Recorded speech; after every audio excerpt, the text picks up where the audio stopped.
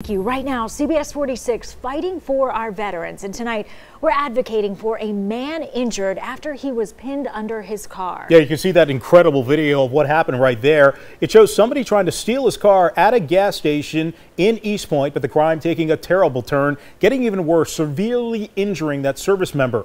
Tonight, CBS 46's Ashley Thompson tells us he is desperate for justice, also help. Glenage, Washington stopped by this BP gas station off of Lakewood Avenue last July. It was a decision that would change his life. 24-year-old Glenage Washington is in the Army Reserve, and last July, he was also working for a towing company. He says he was on his way to the office when he stopped at this BP gas station to use the restroom. He came out to find a man in his work van. So next thing he did, he looked down and threw it in reverse.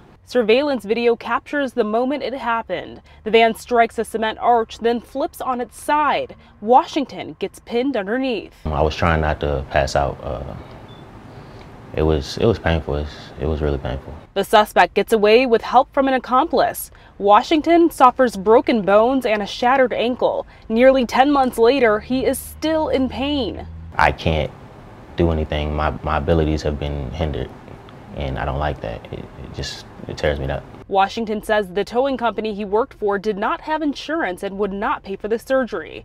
He says the VA can't help since the incident did not happen on military orders. It stops me from being able to uh, move forward in the military as well. Um, I can't become a sergeant, which I'm a specialist right now. In order for me to do that, To complete a PT test. We've contacted Washington's former employer to ask why they did not have insurance on one of their drivers. We've also reached out to East Point Police to get the latest on the investigation.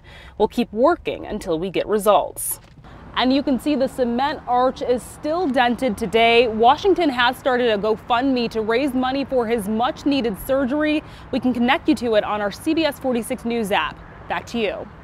Ashley, thank you. And as you know, CBS 46 is fighting for our veterans. If you know of a vet who is not getting the care or benefits they deserve, we really would like to know about it. Call the number on your screen, 404 327 3055, or email fighting for our vets at cbs46.com. We will investigate and work to get results.